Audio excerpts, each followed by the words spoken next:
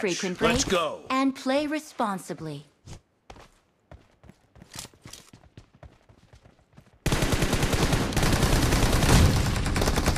First point for the red team!